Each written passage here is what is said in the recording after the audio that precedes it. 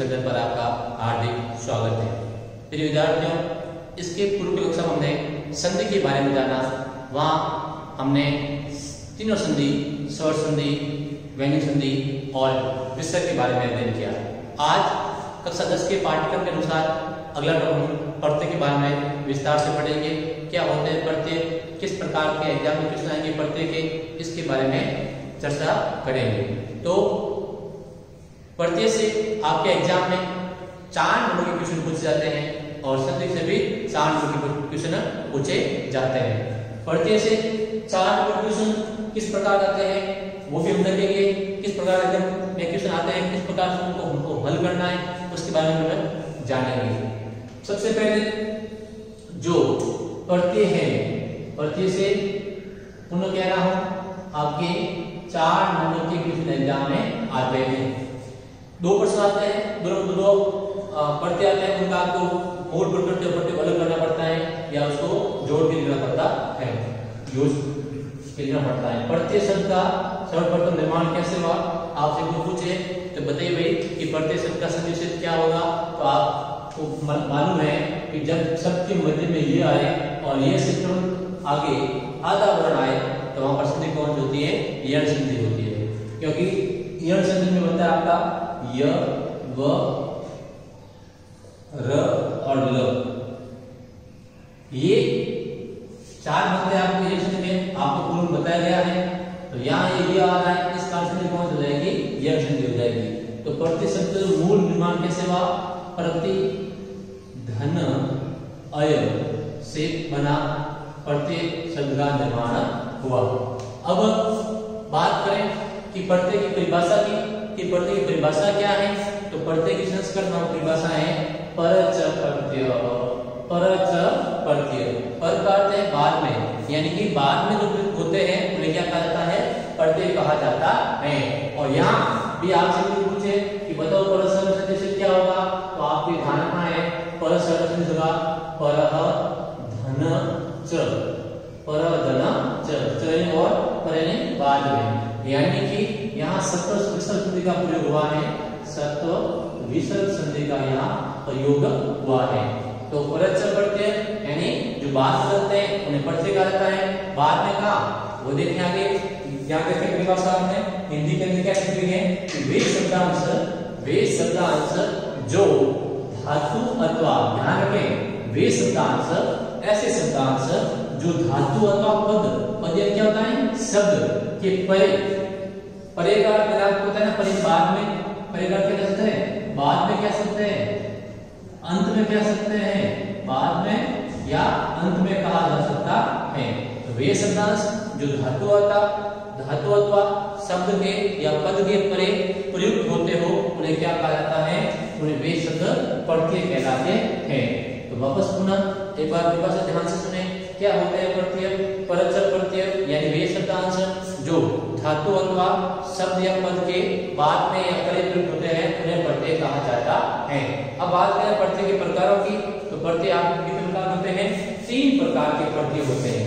तीन प्रकार के प्रत्यय होते हैं। देखो, यह प्रत्यय या हालाँकि होते तो पाँच प्रकार के हैं, लेकिन यहाँ अपन उन सुबंत जो विभक्ति रूप में लगते हैं और त्रिदंड जिसमें लकार रूप में धातु रूप में लगते हैं, हम उनकी गणना यहाँ नहीं कर रहे हैं। तीन प्रत्यय अध्ययन करेंगे। पहला प्रत्यय कौन सा है? कृत प्रत्यय कौन सा प्रत्यय है? पहला कृत या कृत प्रत्यय दूसरा प्रत्यय है कृत प्रत्यय और तीसरा प्रत्यय आपका स्त्री प्रत्यय पुनः एक बार अवश्य कह रहा हूँ, तीन प्रकार के प्रत्यय होते हैं कृत प्रत्यय कृत प्रत्यय और आपका स्त्री प्रत्यय आइए देखते हैं, क्या होते हैं कृत प्रत्यय क्या होते हैं कृत प्रत्यय और क्या होते हैं स्त्री प्रत्यय इन तीनों की परिभाषा के बारे में जानते हैं। तो देखें कृत प्रत्यय कृत प्रत्यय के में देखें अपन तो वे शब्दांश जो धातु के परे प्रयुक्त होते हो। वे शब्दांश, ऐसे शब्दांश जो धातु धातु कैसे? जैसे हम बात करें धातु के बारे में, यहाँ देखें, ऐसी धातु है जिसे हम क्या कहते हैं हिंदी में हिंदी में जिसे आप क्रिया कहते हो, उसे इस संस्कृत में धातु कहा जाता है और इंग्लिश में क्या कहते हैं आप वर्ग कहते हो, यानी वर्ग, क्रिया या धातु। तो ऐसे प्रत्यय जो किसी धातु के परे परे का आपको पहले बता सकता हूँ, बाद में बाद में होता है अंत होता है? तो ऐसे शब्दांश जो धातु के परे होते हैं, उन्हें क्या कहा जाता है? उन्हें कृत प्रत्यय कहा जाता है। अब देखो कृत प्रत्यय अनेक होते हैं, लेकिन आपके जो पाठ्यक्रम है, वो चार है। लेकिन अनुवाद के दृष्टिकोण से आपको उससे अधिक प्रत्यय पढ़ने पड़ते हैं। तो देखो, क्या होते हैं कृत प्रत्यय और कौन कौन से कृत प्रत्यय होते हैं? उदाहरण के तौर पर देखो तबियत अन्य कत कत्वतु सर्त्री सानस तत्वा लय, तुमून इत्यादि। इत्यादि अनेक प्रत्यय होते हैं विभिन्न प्रत्यय जिसमें कौन कौन से हैं? तवियत है, अन्य है कत है, परतु है सर्वरी है सानस है, तत्वा है, लय है, तुमुन है, आगे तक भी कह सकते हैं आप रमूल है, इत्यादि अनेक ल्यूट है, इत्यादि अनेक प्रत्यय के अंतर्गत आते हैं। और ये लगते कहाँ है? ये हमेशा कहाँ लगेंगे? ध्यान दीजिएगा हमेशा ये धातु के साथ नहीं लगते हैं। जहाँ धातु के साथ जो प्रत्यय लगता है, वो कौन होते हैं? कृत प्रत्यय होते हैं। हालाँकि उसमें तय हो सकता है, अंदर हो सकता है कत कत तो सर्त्री साकस इनमें से कोई भी हो सकता है, लेकिन वो होगा कौन सा प्रत्यय? कृत प्रत्यय होगा? आइए जानते हैं दूसरे प्रत्यय के बारे में। दूसरा प्रत्यय कौन सा है? आपका दूसरा है तलित प्रत्यय। तो क्या अंतर है तलित और क्या अंतर है कृत प्रत्यय में? तो देखिए तलित प्रत्यय क्या होते हैं? वे शब्दांश जो किसी पद पद का अर्थ है शब्द, यानी प्रातिपदिक बोलते हैं इसको। प्रातिपदिक के साथ में प्रयुक्त होते हैं, यानी साठ शब्द के साथ में प्रयुक्त होते हैं तो कहा आएँगे वे शब्दांश जो किसी पद के परे, परिगण बाद में प्रयुक्त होते हो, उन्हें क्या कहा जाता है? कृत प्रत्यय कहा जाता है। देखो, ध्यान रखना कृत में और तदित में केवल इतना सा अंतर है कि कृत प्रत्यय प्रयुक्त होंगे, वो होगी किसके साथ में? आपके धातु के साथ में। और आपके जो तदित प्रत्यय है तदित प्रत्यय है, वो प्रयुक्त होंगे आपके किसके साथ में? पद के साथ में या शब्द के साथ में? केवल एक अंतर है, पद और क्रिया का या धातु का धातु के साथ विपरीत प्रत्यय और शब्द के साथ में आपके है तदित प्रत्यय अब आपके तदित प्रत्यय होते हैं, देखिए आप सदस्य के पाठ्यक्रम कौन कौन से प्रत्यय दिए गए हैं, जिन्हें हम पढ़ेंगे, आगे इसमें से बाकी पढ़ेंगे पढ़ेंगे। जैसे देखो कौन कौन से मधु है, तव है, तल है, थक है, इनी है तरफ़ है तमुक है इत्यादि प्रत्यय कौन से होते हैं? तदित प्रत्यय देखो होगा तो तदित प्रत्यय कब होगा? जैसे मैं बात करता हूँ आपका श्रेष्ठ है। ये सब क्या है? श्रेष्ठ। और इस इस श्रेष्ठ के साथ में आपके आ, लगता है तरफ़ तो क्या होता है? इस तरह का पूरा करके बन जाता है श्रेष्ठ तर। देखो है तो आपको कुछ पसंद? ये बताओ इसमें कौन सा हैं? किल पढ़ते हैं दलित पढ़ते हैं स्त्री पढ़ते हैं तो आप यहाँ देखते हैं कि शब्द है या पद है, इसके साथ में जुड़ रहा है, इस कारण से प्रत्यय कैसा है? त्रित प्रत्यय यदि बात करूँ, यदि आपके, मैं बात कर लेता हूँ कि बताइए भाई, मान लो ये आपका शब्द है कि आपके पट है, और पट के साथ में आ गया आपका तबियत मैं आपको बता देता हूँ, बाद में आपको बताइए तबियत कैसे बनता है, इसका रूप जाता है पठी तबियत अब आपसे स्क्रिप्ट इतना सा पूछा जाए कि आप ये बताइए कि भाई इसमें पढ़ते कौन सा है? पढ़ते हैं त्रित पढ़ते हैं वैश्विक पढ़ते हैं। आप क्या बताएँगे इसमें? कि साइंस में तो कृत पढ़ते हैं। इस कृत पढ़ते में बात आप कह सकते हो? कि सारे त्रित पढ़ते हैं। लेकिन है तो क्या? कृत पढ़ते हैं। क्यों है? क्योंकि धातु के साथ जुड़ता है तो ध्यान रखना जो धातु के साथ जुड़ता है, उन्हें कृत कहा जाता है और जो शब्द के साथ जुड़ता है, उन्हें त्रित कहा जाता है। पुनर्निर्माण बना रहा शब्द का निर्माण धन अयसेवा है। यम संधि प्रयुक्त हुई है। यम संधि प्रयुक्त हुई है। इसका भी ये ध्यान रखें। फिर परिभाषा क्या? परत प्रत्यय वे शब्दांश जो किसी धातु या पद के अंत में जुड़ते हो, उन्हें क्या कहा जाता है? उन्हें आपके प्रत्यय कहा जाता है। कितने प्रकार होते हैं? तीन प्रकार के होते हैं। कौन कौन से प्रत्यय होते हैं? पहला प्रत्यय कृत प्रत्यय दूसरा दलित प्रत्यय और तीसरा आपका स्त्री प्रत्यय कृत क्या होते हैं?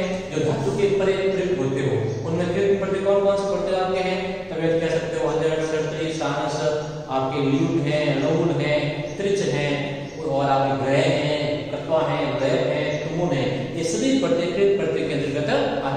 और सभी कहाँ जुड़ेंगे धातु के साथ में जुड़ेंगे।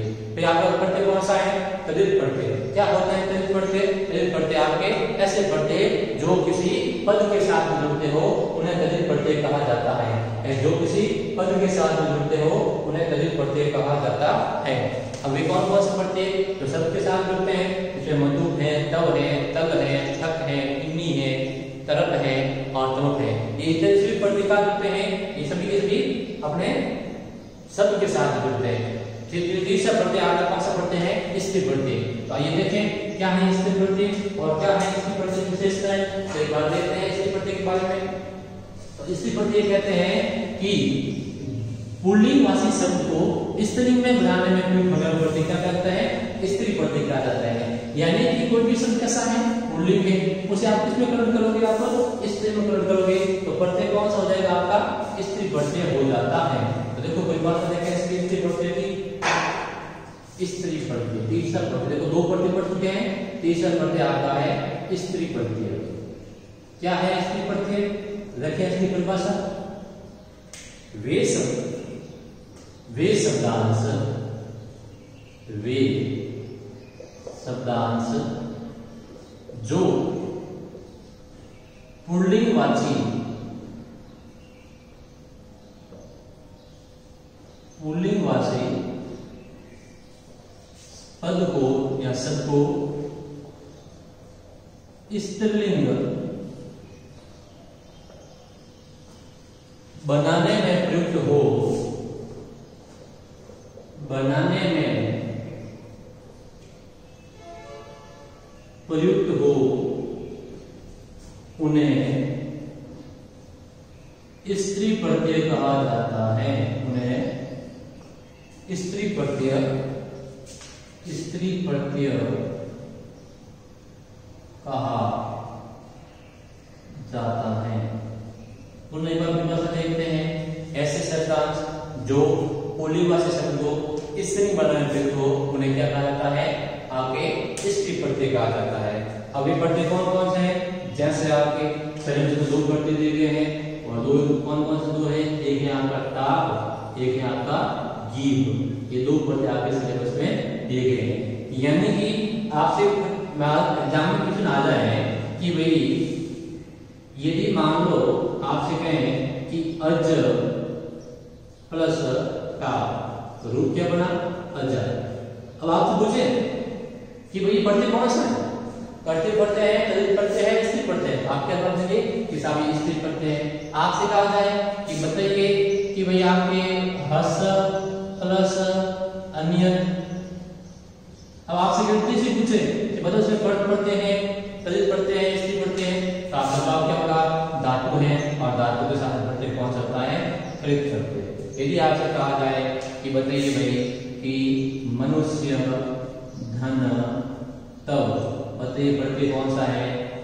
कृत प्रत्यय है या फिर तदित प्रत्यय है या फिर स्त्री प्रत्यय है तो आपका जवाब क्या हो जाएगा कि साहब इसमें तो प्रत्यय कौन सा है? तदित प्रत्यय है। तो तीनों विशेष ध्यान रखें कृत प्रत्यय हमेशा आपके धातु के साथ जुड़ते हैं।